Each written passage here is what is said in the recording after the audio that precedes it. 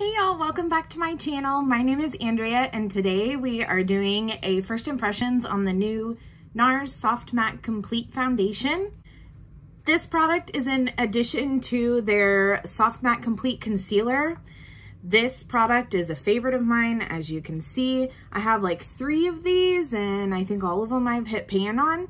Uh, this is just my summer shade. So we're gonna do a wear test in this. I apologize if you can hear somebody weed eating outside. It's almost 2 p.m. and I want to be able to wear this for a full eight hours for y'all so that we can see how long it lasts. So if you hear that, I apologize. So let's discuss some of the claims of the foundation. It says it's a 16 hour wear, oxidation resistant, which I tried this on last night and I was playing with it on my hand and kind of mixing in my green color corrector it's something that I do with most of my foundations and I don't think that this is oxidation resistant, but we'll see how it looks on the face. So it says that it balances out oil while maintaining a hydrated skin-like finish. It protects from pollution and blue light, which is kind of awesome. It's full coverage, matte, and it's for normal, dry, combination, and oily skin types. And it does have microalgae and hyaluronic acid in it. And it says to help absorb excess sebum.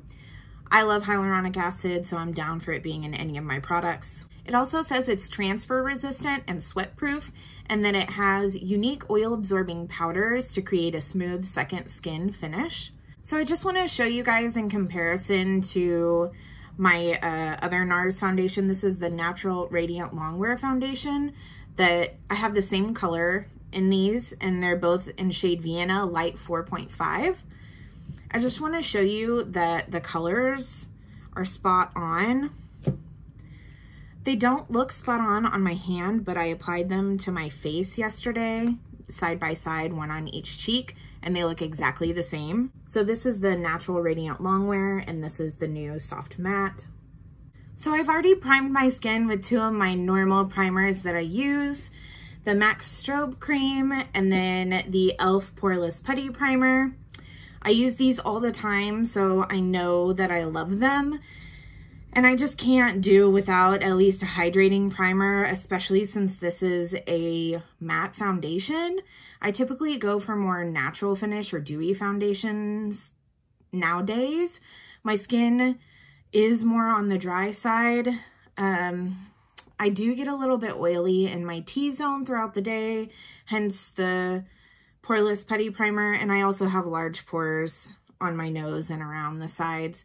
So this is in my T-zone, this is all over the face. And I wanted to test this out how I would normally wear it. So I'm gonna apply this in a couple of different ways. NARS foundations are always meant to be applied with your fingertips. That's how they create them. Every single foundation that they have is meant to be applied that way. Obviously, you can apply them with whatever tool you want. So I'm going to apply part of this with my fingers, and then I'm also going to use my Tati Blendiful because this is my favorite way to apply foundation. And then I'm also gonna use a brush like on my forehead or something so we can just see what that looks like. When I was kind of testing this out yesterday, I was using this brush. This is the, oh, it's completely rubbed off. This is an uh, IT Cosmetics brush for Ulta, and it's just a flat top kabuki. So I'm also going to use NARS concealers with this.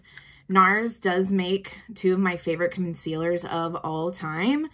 The Radiant Creamy Concealer is a favorite. I've got this in like three shades. I also have this in like three shades. Uh, and as you can see, this one is scraping at the edges. I've been through at least three or four of these previously. So we're going to use the Radiant Creamy Concealer under the eyes and then the Soft Matte Complete Concealer um, anywhere on the face to cover blemishes and stuff like that. One thing I will say that I've noticed when applying this, I feel like it kind of comes out of the tube quickly, at least when you first open it, and it gets a little messy, so just a little note there. This does go a very long way. I probably put too much product on the back of my hand, but you can see how runny that is. So I'm going to use my fingers first and I'm just going to dot this.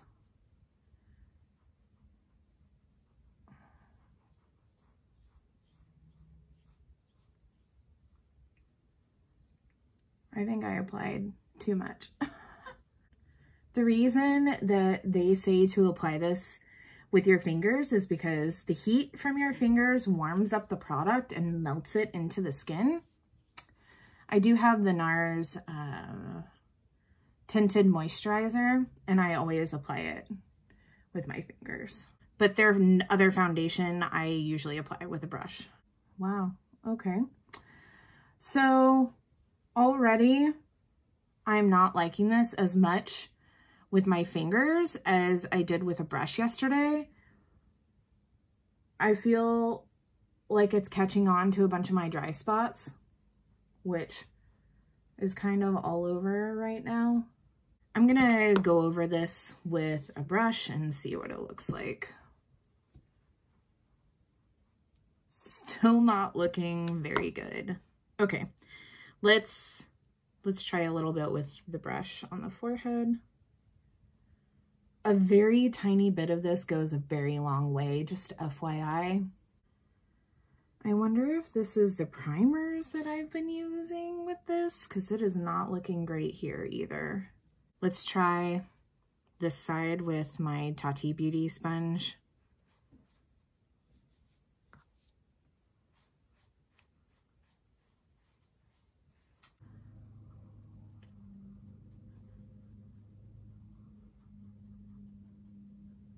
I did have a little bit of a sunburn on my nose, so I do have some peeling there. But actually, it's looking fine on my nose.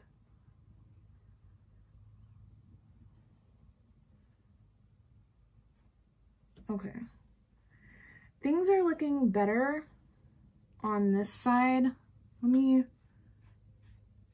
oh my God, it's getting worse. I truly don't know what to do at this point. Like I kind of want to wipe it off and take off these primers and start again. Honestly, I think I am going to do that. I've never had to do this before, but maybe the pore filling primer was a bad idea with this. So let me go take this off and I'm going to come back. Okay, and I'm back. That did not go well. I don't know why. I don't know if it was my skincare or the primers or the application. So I took that off with some Bioderma and then I just reapplied my skincare. When I first applied my skincare this morning, I did use a lot of oil. And so this time I cut that down like a ton and use mostly moisturizer. I'm not going to apply any primers. When I applied this yesterday, just testing, I was actually testing the color that I bought just to see if it was too light and it was. So I had to go in the store and exchange it for um, a different color. When I applied this yesterday, I just threw on some moisturizer. I hadn't done like any of my skincare routine yesterday and I just threw it on top with this kabuki brush so that's what we're gonna do. I'm just gonna throw this on with this brush and see if that applies better. I'm not gonna use any primers. I keep a Neutrogena moisturizer at my vanity just for like emergency uses so I don't have to get up and go to my bathroom. That's not what I typically use on a regular basis. That moisturizer does have dimethicone in it, which is why I stopped using it. But that may be why it looked good yesterday, because the one, the moisturizer I normally use does not have dimethicone in it. And that's typically what's in a smoothing primer, like this e.l.f. one. I don't have the ingredients to this, so let's try this again. I'm a little scared now. I thought that I was gonna love this foundation yesterday I did apply a really thin layer of this and then went back on top with another thin layer to get a full coverage. So maybe I need to be doing that today as well.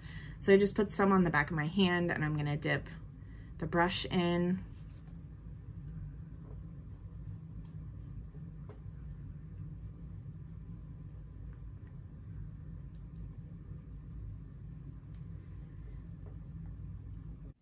Okay, things are already looking better on my cheek.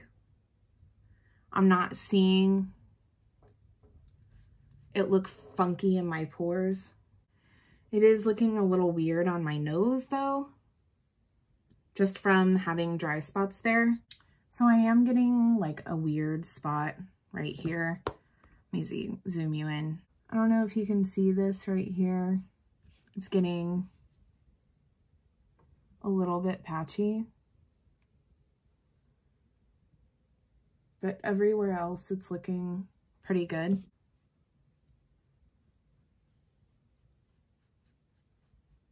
It is looking kind of dry right here in the center of my forehead as well. That doesn't normally happen to me either. I'm gonna see if using my finger fixes this. I truly don't know what's going on here in this spot. It looks like it fixed it in some places, but then it's lifting in other places. When I put this on yesterday, I was able to layer it fine without lifting it up underneath. I don't know what's going on today. I'm just using my finger to kind of touch up some spots and see how it goes. So that did make my nose look better. So this is pretty full coverage, but I don't think it's like 100% full coverage right now. I'm gonna add a little bit of a layer to see if I can build this up anymore. And I'm not taking a lot, just a, just a tiny bit. I'm just gonna pat it on.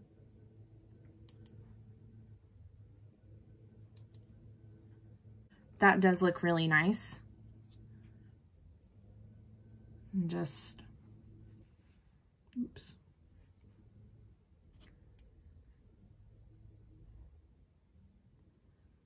Adding more to my trouble areas on my cheeks. That did build nicely on both places.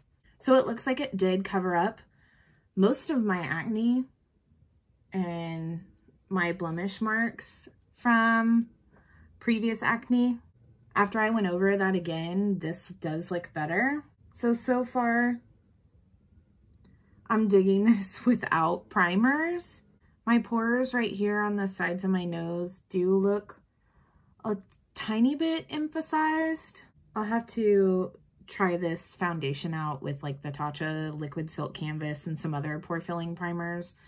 I also like the Milk Makeup Blur Stick, so I'll have to test that out some more and see if I enjoy those since that e.l.f. one did not go well with this foundation, which I have never had a problem, I don't think, with that e.l.f. primer not going with a foundation. So that to me tells me that this foundation is a little bit finicky.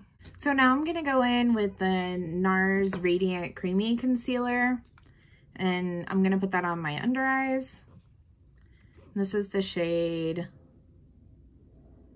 Light 2.5 Creme Brulee. I'm just using a My Kitco 0.13 My Domed Multi.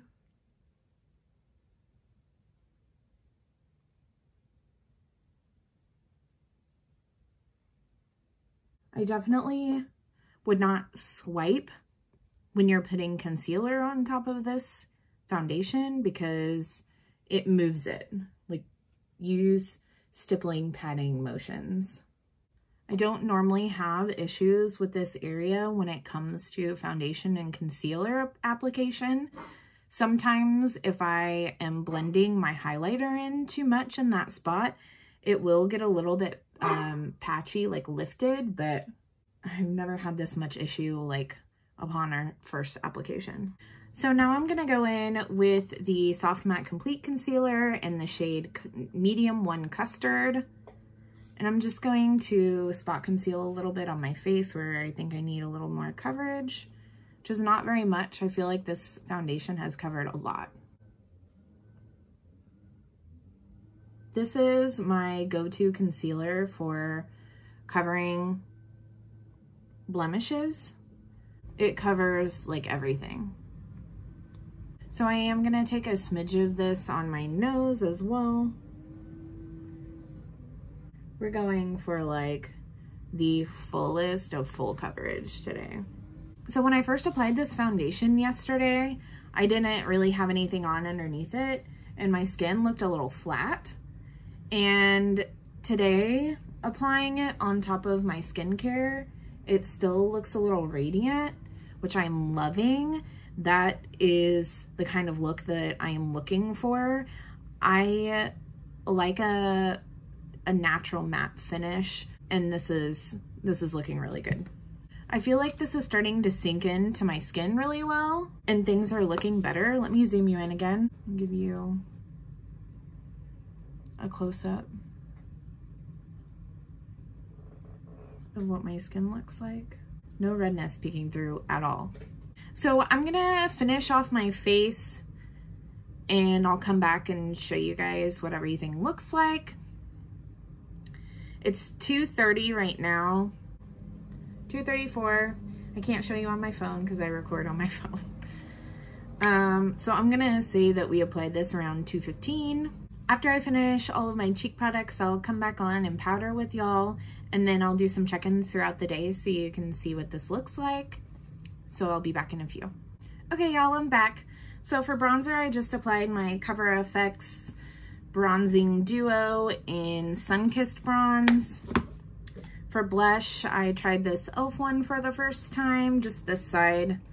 And it's called Watermelon. And then for highlighter, I used my Hourglass palette. And I used all three shades mixed together. That's my favorite way to use this palette. It's the Ambient Metallic Strobe Lighting Palette. This was limited edition for Christmas, I think, one year. And then they brought it back recently. I don't, I feel like this year, I don't know if this is still in available or not. I apologize if it's not. but if it is still available, get it because it is blinding. Hello. Okay. So I am actually feeling a little bit dry. My skin doesn't look super dry, but I do feel like I look a little bit textured. I was gonna use my Anastasia powder because this is one of my current favorites. It's very blurring, which I love about it. But since I'm feeling so dry, I'm actually gonna use my Hourglass Veil powder on top of this. This powder is great for setting things without it looking powdery or cakey. I typically use this powder more in the winter time when my skin is super dry. We're just not quite there yet in Texas. I know some people are starting to get snow. My brother and his wife live in Montana and they just posted a picture of snow on the ground, so. Okay, so I'm going in with a little bit of that on my Wayne Goss brush. And I'm just gonna lightly set just my T-zone.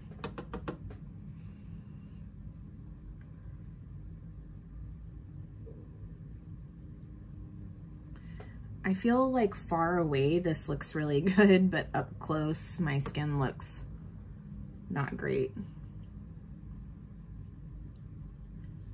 And it may just take some playing around with it.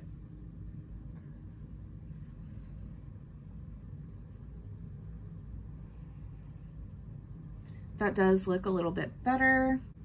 I actually am gonna spray my face with some Fix Plus too. I just really feel like I need some hydration. It's just the regular MAC Fix Plus.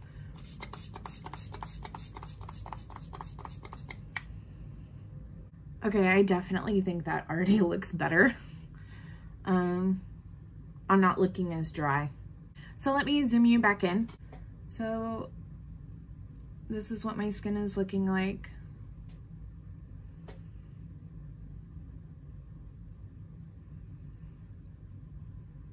It is 3.05 now. So I'll check back in with y'all in a couple of hours and let you know how it's wearing. I am in front of a huge window right now, so this is natural lighting. This is what it looks like in natural light. And I have no lights on, no ring lights or anything. So I'll check back in with y'all in a little bit. Hey y'all, we're back for a check-in. So it is almost 5.30, so I've had this on for a little bit over three hours. It looks like my cheeks and my forehead are looking pretty good. All I've been doing is really filming. I haven't done any strenuous activities or anything. I am noticing some breaking up right here on the side of my chin. And a little on this side as well. I don't know if you can see this on camera, but this happens sometimes to me when I think things don't blend well together. I think that the oil that I mixed in potentially, I don't remember this foundation saying it's oil free. So I don't see anywhere that says specifically that this is oil free, but I just looked at the ingredients and I'm not seeing any oils in there. I'm going to assume that this is oil free and that the oils in my skincare is what's causing this. But you can almost see like little dots at where it's separating. It's happening right here as well. Other than that, everything looks good. This is disappointing. I guess I'm to have to test this out multiple times and with different products and see what works well with it. All right, I'll come back and check in with you guys in a little bit. Hey y'all, I'm back. It is 10.30 exactly. It's time for my final check-in. I've had this on for a little bit over eight hours now. So since you've last seen me, I have cooked dinner. I took our dogs for a 45 minute walk outside in the Texas humidity. it wasn't as hot today because we're getting a storm tonight. So it's been in like the low 90s, uh, high 80s today. So the problem area I had on my chin has gotten significantly worse. So I am quite oily, but all in here, not only is the foundation cracking in my lines, but it's also like separating, splotching apart. And it's decent doing it all on this side as well. And then my cheeks and my forehead look fantastic. It is coming off on my nose a little bit right here.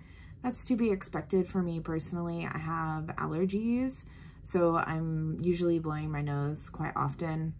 So other than these two areas, everything actually looks really good. There is a little bit of gathering around my nose right here. I did get a little bit dewy. That might partially be from the MAC Fix Plus.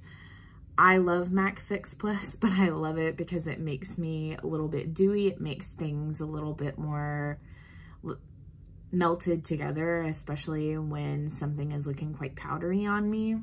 But I'm not offended by the amount of oil on my face right now. I'm just this, like, I would not go out in public like this. Let's blot and see if we can fix this. I'm gonna use the uh, Fenty blotting papers.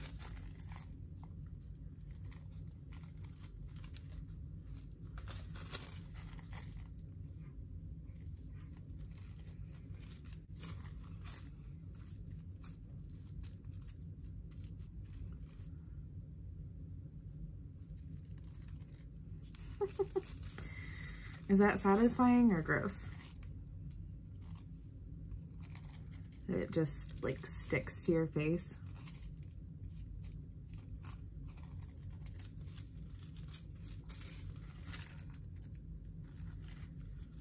So that's normally where I get oily. Everything else is pretty much highlight. I'm gonna see if I can tap over this with my finger a little bit.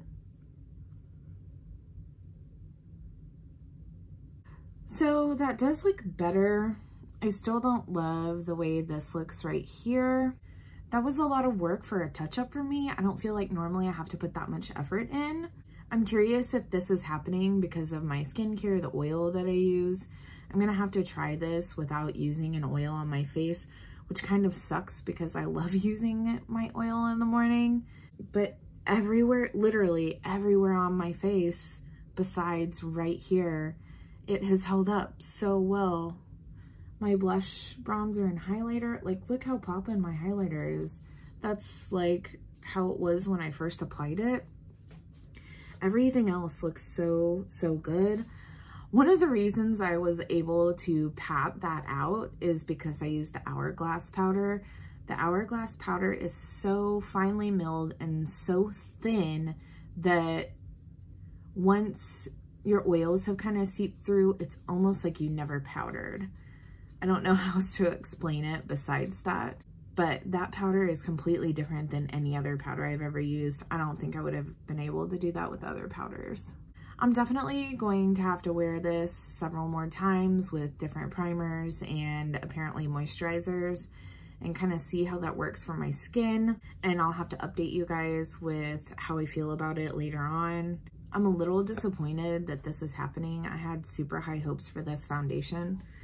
I will say in person, my skin looks pretty good, but I have felt like a little textured today, like more textured than I normally do.